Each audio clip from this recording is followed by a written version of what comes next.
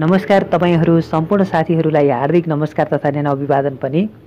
आज सुपरमाई हाइटो पावर कम्पनीको आइपिओ बाँडफाँड हुँदैछ। यस कम्पनीको आइपिओ कतिमा बेच्ने कतिजनालाई पर्छ कम्पनीको वित्तीय अवस्था कस्तो छ बोनस दिन सक्छ कि सक्दैन यसको बारेमा तपाईँहरू सामु चर्चा गर्नेछु। भिडियो अन्तिमसम्म हेरिदिनु होला र तपाईँका केही प्रश्न जिज्ञासाहरू छन् भने भिडियोको तलपट्टि कमेन्ट गरेर आफ्नो प्रश्नहरू निर्णयका साथ सोध्न सक्नुहुनेछ। सबैभन्दा पहिला हामीले यस कम्पनीको वित्तीय अवस्था कस्तो छ चर्चा गरौँ। आर्थिक वर्ष दुई हजार छिहत्तर सत्तर सालमा यस कम्पनीको बुक भ्यालु एक सय सात रुपियाँ उन्तिस पैसा रहेको थियो भने इपिएस एघार रुपियाँ अन्ठाउन्न पैसा रहेको हामीले देख्न सक्छौँ। त्यसै गरी आर्थिक वर्ष दुई हजार सतहत्तर अठहत्तर सालमा यस कम्पनीको बुक भ्यालु एक सय एघार रुपियाँ चौन्न पैसा रहेको थियो भने इपिएस एघार रुपियाँ अन्ठाउन्न पैसा रहेको हामीले देख्न सक्छौँ।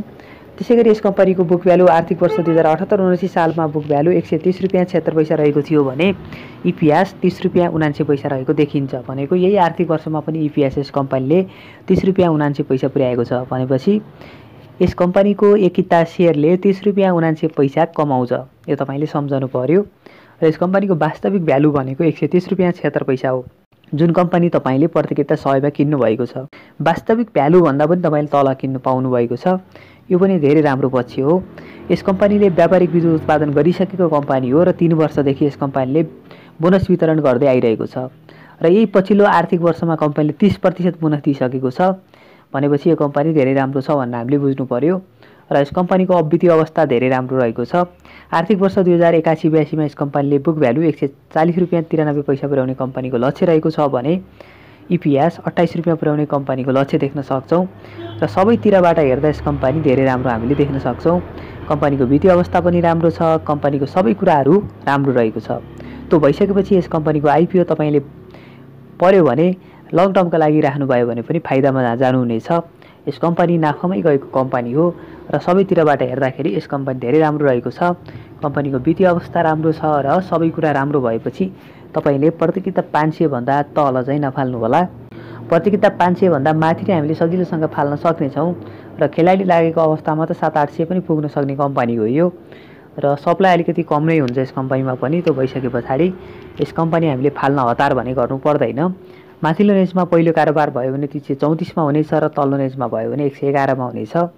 यही बिच पनि यस कम्पनीको पहिलो कारोबार भने हुन सक्नेछ। र यस कम्पनी तपाईँले नफाल्दा पनि हुन्छ हाइड्रो पावर भनेर राख्दा पनि केही फरक पर्दैन। किन भन्दा कम्पनीले बोनस दिन सक्छ र बोनस दिँदै आइरहेको पनि छ तिन वर्षदेखि भनेपछि। तपाईँले यस कम्पनीलाई लङ टर्मका लागि राख्न पनि योग्य कम्पनी हो यो तपाईँले सम्झनु पर्यो। र तपाईँका केही प्रश्नहरू छन् भने भिडियोको तलपट्टि कमेन्ट गर्न पनि सक्नुहुनेछ। अब हामीले यस कम्पनीको आइपिओको बारेमा चर्चा गरौँ। सुपरमाई हाइड्रो पावर कम्पनीले प्रति किता रु सयको दरले आइपिओ निष्कासन गर्न लागेको हो। यस कम्पनीले पाँच लाख किता आइपिओ निकालेको थियो। पाँच करोड रुपियाँ बराबरको भने यस कम्पनीले वैदेशिक रोजगारमा रहेका नेपालीका लागि पचास हजार किता छुट्याएको थियो सामूहिक लगानी कोषका लागि पच्चिस हजार किता छुट्याएको थियो भने कर्मचारीका लागि दस हजार किता छुट्याएको थियो त्यसै गरी सर्वसाधारणका लागि कम्पनीले चार लाख पन्ध्र हजार किता छुट्याएको थियो। यस कम्पनीको आइपिओ बिक्री माग तेइस गतेदेखि छब्बिस गतेसम्म भएको थियो भने यस कम्पनीको आइपिओ पर्ने भनेको एकचालिस हजार पाँच सयजनालाई दस किताको दरले पर्नेछ भने धेरैजनाको हात खाली हुनेछ। यस कम्पनीको आइपिओ बिक्री प्रबन्धक सानिमा क्यापिटल रहेको छ। आइपिओ बिक्रीको सबै काम सानिमा क्यापिटलले गर्नेछ र यस कम्पनीको आइपिओ सानिमा क्यापिटलको प्रधान कार्यालयमा आज बाँडफाँड हुँदैछ र आज बाँडफाँड भएको कारणले गर्दा पनि तपाईँलाई एकछिन पछाडि तपाईँले यस कम्पनीको रिजल्ट हेर्न सक्नुहुनेछ र तपाईँलाई पनि परोस् मेरो तर्फबाट भने शुभकामना छ र तपाईँका केही प्रश्नहरू जिज्ञासाहरू छन् भने भिडियोको तलपट्टि सोध्न सक्नुहुनेछ।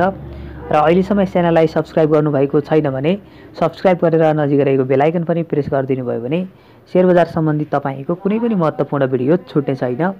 आगामी दिनमा पनि यस्तै यस्तै जानकारीमूलक भिडियो लिएर आउनेछु। त्यति बेलासम्मका लागि बिदा हुन चाहन्छु। तपाईँहरू सम्पूर्णलाई नमस्कार।